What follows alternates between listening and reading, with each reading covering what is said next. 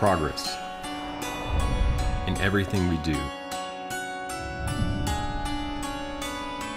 It's the direction of life, the path towards perfection.